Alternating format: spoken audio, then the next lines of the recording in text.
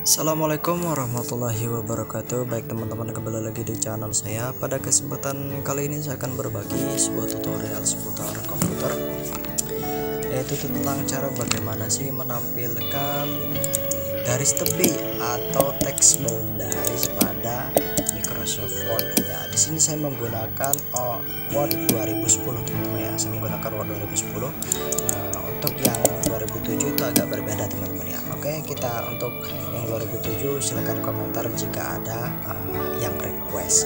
Uh, kemudian di sini ada kita langsung saja praktek kita buka Word 2010 nah kita lihat di sini uh, close dulu lihat di sini itu ya teks garis tepinya tidak ada jadi kita tidak tahu batas-batas pada teks tersebut ya untuk menampilkannya caranya di bagian atas sini ada file tulisan file kita klik dulu. Kemudian di sini ada bagian option. Nah di bagian option kita pilih uh, advanced advanced tuh ya. Kemudian kita scroll ke bawah ini scroll ke bawah. Di bagian show dokumen konten nih kemudian kita pilih di sini ada show text boundaries nah, oke. Okay. kemudian kita klik oke. Okay. itu ya. Kalian lihat itu ya.